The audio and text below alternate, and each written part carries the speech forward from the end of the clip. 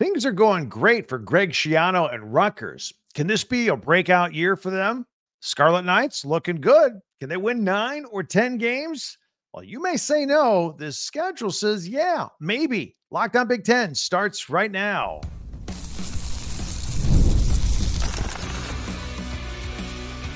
You are Locked On Big Ten, your daily podcast on the Big Ten Conference. Part of the Locked On Podcast Network, your team every day. Welcome to Locked On Big Ten. I'm Craig Shemon, coming up on 40 years as a sports talk show host and a play by play announcer. And I want to thank you for making Locked On Big Ten your first listen every day. We're free and available wherever you get your podcasts and on YouTube. Part of the Locked On Podcast Network, your team every day. And today's episode is brought to you by FanDuel. Make every moment more. This summer, FanDuel is hooking up all customers with a boost or a bonus daily. That's right. There's something for everyone every day, all summer long. Visit fanduel.com and get started. This could be a breakout year for Rutgers. Plus, we'll go game by game on the schedule, and I'll make my point for you. Plus, we have our picks. We're going to look at the odds of the top 12 teams of making the college football playoffs. How many Big Ten teams are on that list? After 10 years in the Big Ten, will 2024 be the big year for Rutgers, their big breakout year?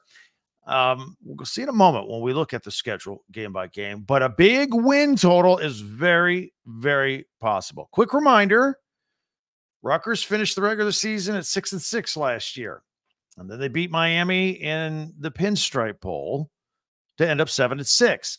Now, the downside to last year is they were only three and six in the Big Ten, but they were in the impossible East with Michigan and Ohio State and Penn State. None of them are on the schedule this year for Rutgers. So it got me to thinking just how many wins they could reach this year because they're a pretty solid, good football team last year. So before we take a look at the schedule in depth, let's take a look at the team that they will put on the field in 2024. Let's start at quarterback. Athan Kaliakmanis. He transfers from Minnesota. We talked about him a lot last year with the Gophers. And incumbent Gavin uh, Wimsatt saw the writing on the wall and he transferred to Kentucky. Now, Wimsatt was more of a power rushing quarterback, while Kaliakmanis, who I honestly wasn't that impressed with at Minnesota, comes to Piscataway as a much better passer than Wimsatt. So we could say there's some improvement there.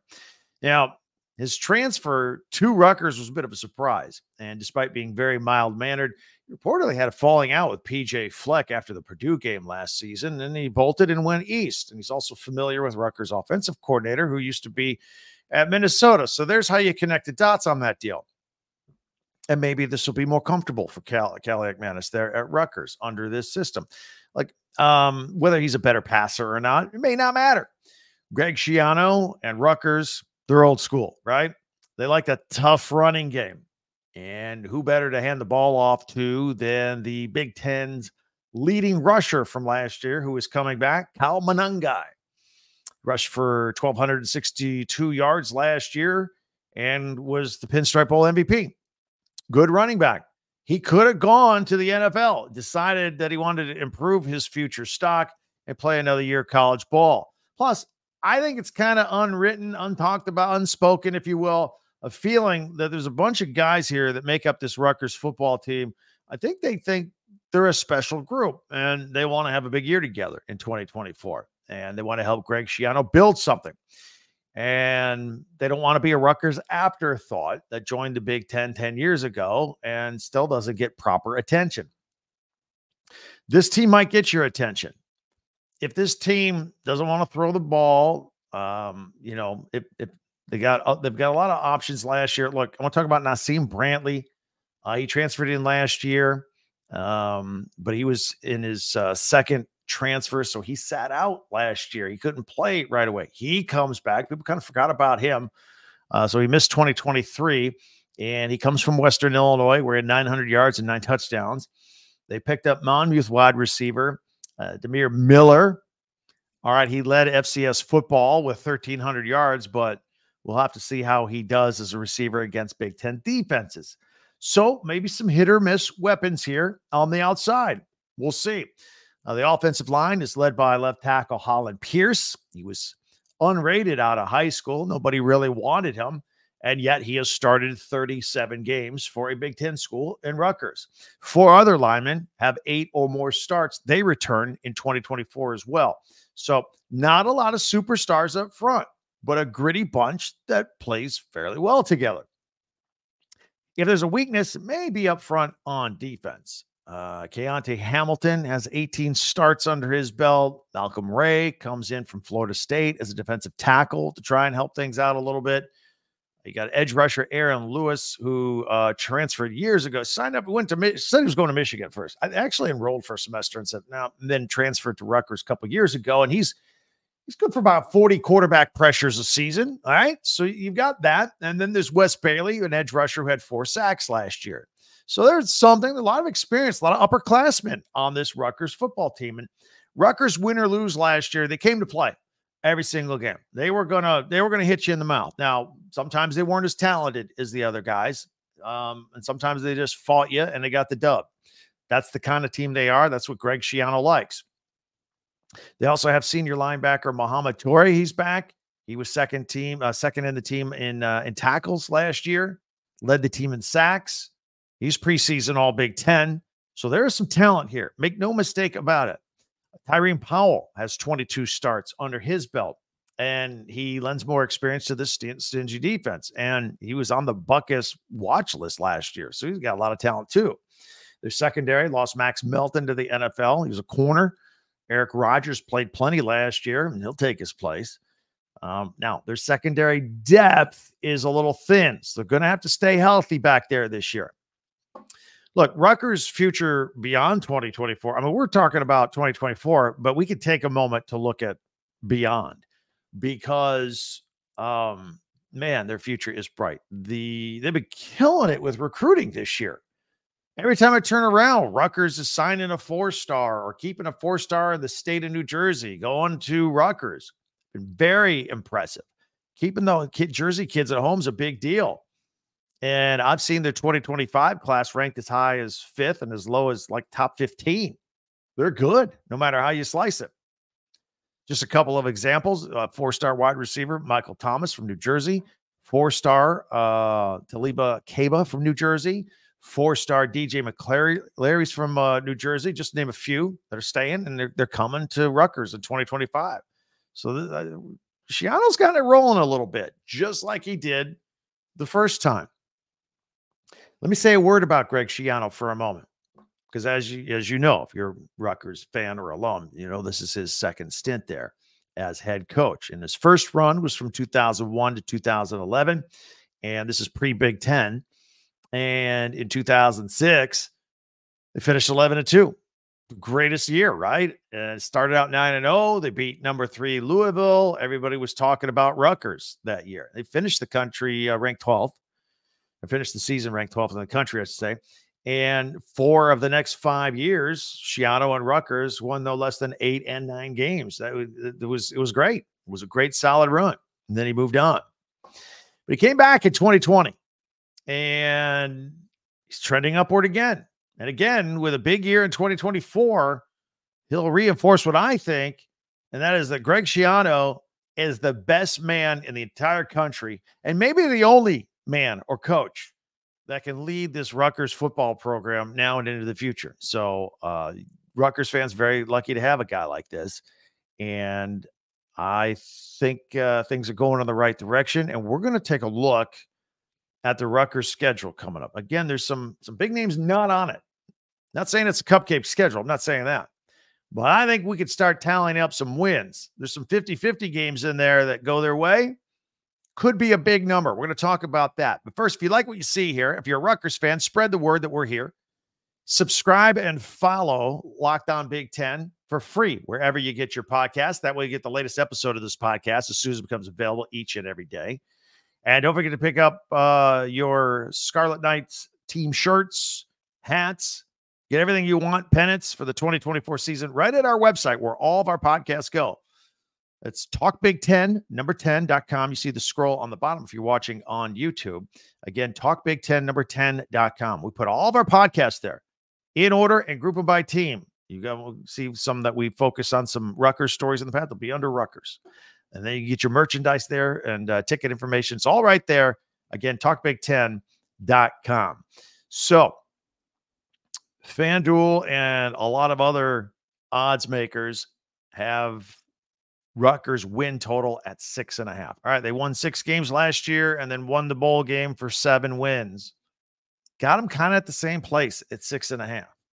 But again, no Michigan, no Penn State, no Ohio State on the schedule like last year. There's three games that could go another way. Now we're talking about a higher win total. Take the over. We're going to go through it right here and go game by game and check this out. See what you think as well. I think you think we're crazy saying eight, nine, ten wins. We'll see. All that coming up in one minute right here on Locked On Big Ten. Passion, drive, and patience. That's the formula for winning championships. And it's also what keeps your ride or die alive. eBay Motors has everything you need to maintain your vehicle and level it up to peak performance superchargers, roof racks, exhaust kits, LED headlights, and more. Whether you're into speed, power, or style, eBay Motors has you covered with over 122 million parts for your number one ride or die. You'll always find exactly what you're looking for. And with eBay Guaranteed Fit, your part is guaranteed to fit your ride every time or your money back. Because with eBay Motors, you're burning rubber, not cash. With all the parts you need and all the prices you want, it's easy to Make your car the MVP and bring home huge wins. Keep your ride or die alive at ebaymotors.com. Eligible items only, exclusions apply. eBay guaranteed fit, only available to U.S. customers. Thank you for making Locked On Big Ten your first listen every day, especially you everydayers out there. Thank you very much. Meanwhile, be sure to subscribe and tell your friends about us. Subscribe on YouTube or share and follow and like Locked On Big Ten, your team every day, wherever you get your podcast. And don't forget our website, talkbig10, number 10.com. All right, let's do this. Let's look at the Scarlet Knight schedule for 2024. Let's see how many wins we can rack up here. Vegas, FanDuel, six and a half is the number. I, I'm going to tell you right now take the over. Take the over because they're going to get past the over. Now, how much over? Let's figure that out right now. All right.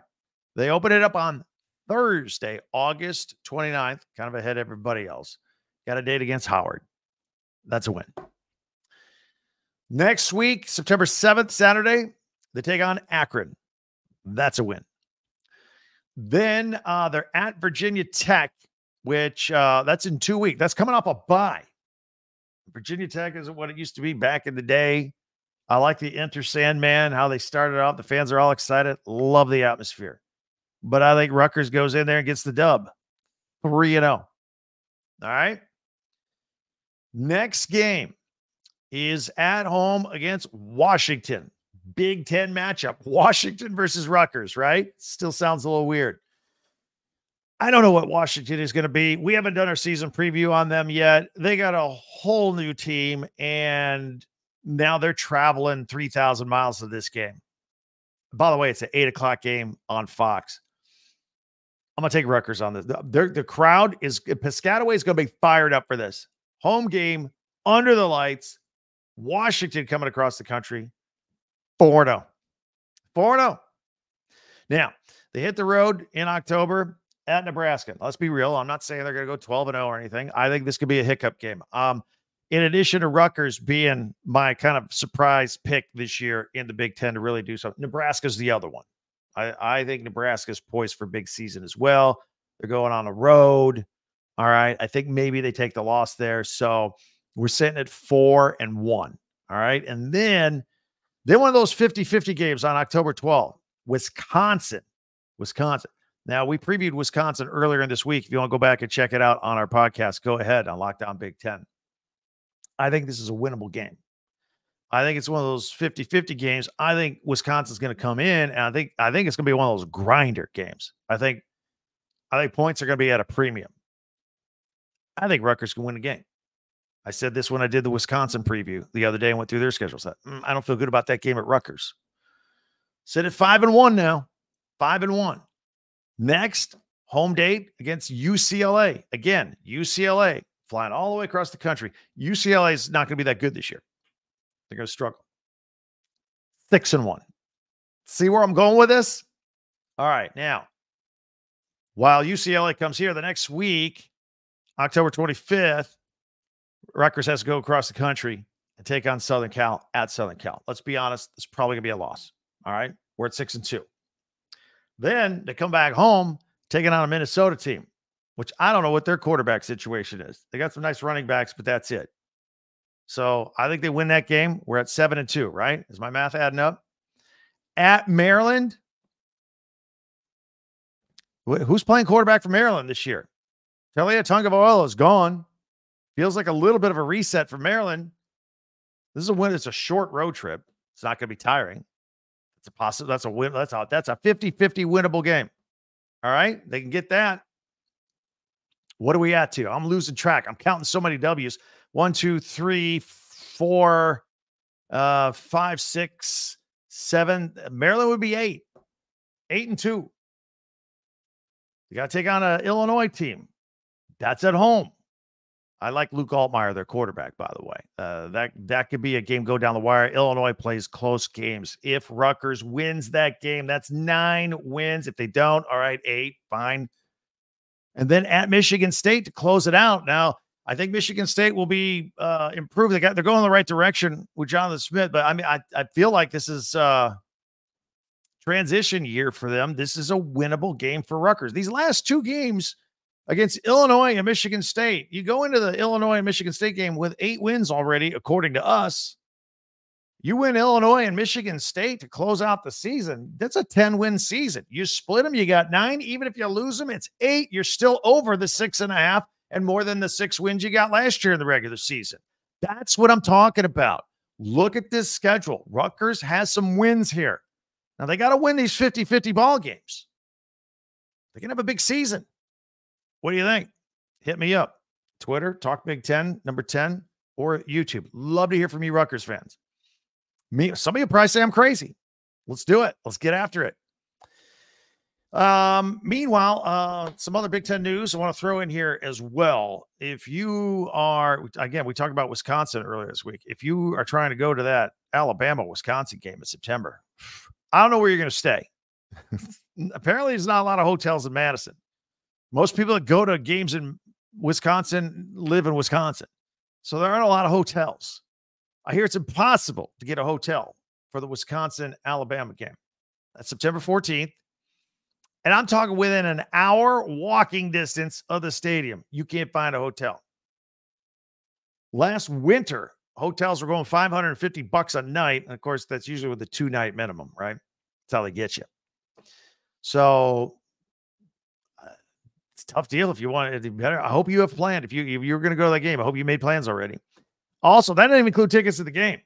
Secondary market just to get in the door, six hundred bucks goes up from there. Well, so that's a tough ticket. That's a tough hotel. Also, we got a little update on Kyle McCord, real quick. Former Buckeyes quarterback, now at Syracuse. That's where he landed after getting jettisoned from Columbus. Remember, he was in talks with Nebraska for a minute going to go there. This is, you know, this is uh it was decision making time. This is before the Huskers were able to flip freshman Dylan Raiola. And Syracuse's athletic director, uh, John Wildhack, said McCord turned down double the nil money at Nebraska to come to Syracuse. I don't know if he should be talking about another man's business like that, but he did.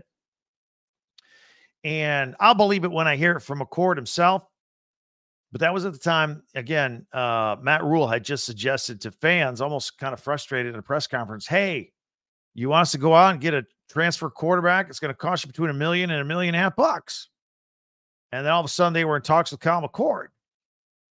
And there was also a weird time because it was the time that McCord said publicly that he didn't want to go to another Big Ten team when he left Ohio State. And he certainly didn't want to play a team that would potentially play Ohio State someday. And he didn't. He ended up going to Syracuse. So, anyway, that's kind of money that was floating around there. Hey, are you watching Fox Sports and ESPN all day? Forget about it. I got something better for you. Make the switch to Locked On Sports today. It's a free 24 7 sports streaming channel. Program for you every day to bring you the latest, uh, biggest stories without all the screaming and talking heads. Locked On Sports today brings you can't miss analysis, opinions, and news, streaming 24 7 on YouTube and for free on the Amazon Fire TV channels app. Part of the Locked On Podcast Network, your team every day. All right. Uh, you know, on Fridays we like to do picks, and since there aren't any games going on, we're looking at odds and futures. We're gonna take a look at the top 12 best odds according to Vegas and our friends at FanDuel for um, making the the 12 team college football playoff, and how many of them are Big Ten teams. And then we'll look at the rest of the Big Ten teams just for fun as well. All that is coming up in one minute right here on Locked On Big Ten. Speaking of FanDuel, let me tell you about FanDuel. Go to fanduel.com. You know, sports are kind of in transition right now. We finished the NBA playoffs and the Stanley Cup. We're just basically baseball. Maybe you like soccer, all that stuff is going on right now. But there are fewer games, except for baseball. A lot of baseball going on. FanDuel helps you keep the sports going here in the summertime. FanDuel is hooking up all customers with a bonus or a boost daily. That's right. There's something for everyone every day, all summer long. So head on over to fanduel.com and start making the most out of your summer because FanDuel is the official sports betting partner of Major League Baseball.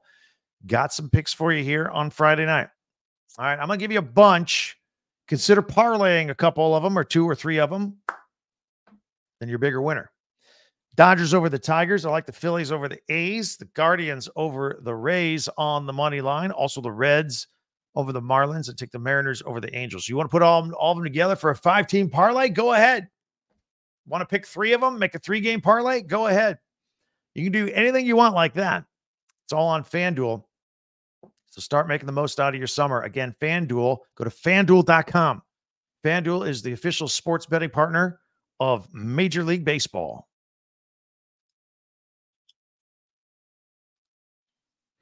All right, we're going to take a look at some picks going into the weekend here. What we're going to do, we've uh, looked at the FanDuel odds to make the 12 team college football playoffs. So we'll have the top 12 odds. We'll point out which teams are Big Ten teams, how many of them. And we'll look at the rest of the Big Ten as well, among some other borderline schools. So we're going to put it on screen, describe it as best we can here for you. If you're on audio only, wherever you get your podcast, that's cool. We'll do our best to uh, describe everything here. And um, we're going to start it off. Ohio State is at uh, plus 650 and Georgia at plus 600. I'm sorry, minus 650. Georgia minus 600. Oregon is minus 290. Texas minus 230. Notre Dame minus 170. And there's Penn State at minus 145. That's pretty good. Ole Miss. I um I like Ole Miss's chances this year, minus 125. Now we're getting into plus money. Alabama plus 100, Michigan at plus 115, LSU plus 125, and Florida State. You, nobody is more happy to have a 12 team playoff than Florida State. They really felt like they got left out last year and should have been in. Well, if uh, 2024 rules were in effect, they would have got in last year. Plus 160 and Tennessee at plus 170. Those are the 12 best odds of getting into the college football playoffs. Okay. Now, I have some more for you here. We're going to look further at the list and let me get rid of that. Okay. So, uh, some bubble teams. Missouri uh, would be the 13th team, best odds at plus 180. Clemson plus 200. And Miami, they're thinking they're going to have a big year this year. They're at plus 200.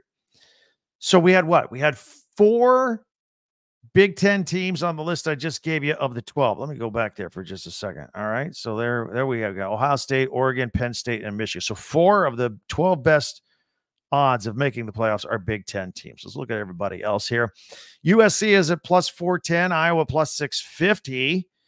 Nebraska plus 850 and Wisconsin is plus 950 and Washington at plus 1000 their chances of getting into the 12 team playoff.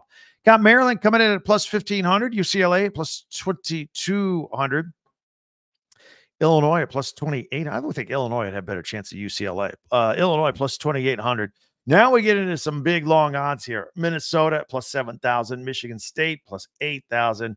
Indiana plus 9,500. And Purdue plus 13,000, as is Northwestern. That's just to crack the 12, the 12 team playoffs. And then can you believe it? This is what I was talking about earlier. Rutgers needed to get more attention. Rutgers, not even on the board for making the 12 team playoff. And believe me, they're not going to come in last place in the Big Ten. So I I think this is um I think this is a fixable situation with all the odds makers. I would put them at the very least. I put them in that Iowa, Nebraska, Wisconsin range, plus 650, 850, 950. I put I'd bunch them in there at the at the least. Heck, I just told you they could win 10 games this year. So um anyway, those are the odds as of right now here in early July of making the 12 team playoff. What do you think about that? Let me know. Love to hear from you on all of that. So um we always end the week with some sort of pick 'em situation. So next week we're going to continue with our previews of all the Big Ten teams. We did five this week. as we have 13 more to go over the next couple of weeks. We still have Big Ten Media Days going on. We still have Florida State, Clemson, and ACC schools rumbling about where they may go. We might do that next week as well with Big Ten uh, alignment, expansion, et cetera, et cetera. Uh, we'll get to all of it right here. Tell your friends about us. We're here each and every day. In the meantime, there's many ways for you to interact with me here at Twitter, at X, at Talk Big Ten number 10. Comments on YouTube are always welcome. And don't forget on our website, some of you are starting to email me on the website now, which is great. Um, of course, uh, right there at talkbig10 number 10.com. You see it on the scroll on the bottom if you're watching on video. I'll get back to you on that. Always answer those. Meanwhile, uh, be sure to subscribe real quick. It's free. Click the button. You can follow this podcast right now on your favorite podcast app, and you get the latest episode of Locked On Big Ten as soon as it becomes available each and every day. And don't forget our friends from Lockdown, On Sports Today, here for you 24 7 on YouTube. Feel free over the weekend to peruse a few more Locked On Big Ten podcasts at your leisure. They're on our website, talkbig10 number 10.com in order, chronological order. Most recent are the ones up top. And then we also group them by schools. So this one, we focus on Rutgers today. It's going to go in the Rutgers file. While you're there, get yourself some merchandise too. Get ready for the 2024 football season right there. Talk Big 10, number 10.com. That'll do it. Have a wonderful weekend. Can't wait till we talk again on Monday. Tell your friends about us to join us. I'm Craig Shemon for Locked On Big Ten. We'll see you next time.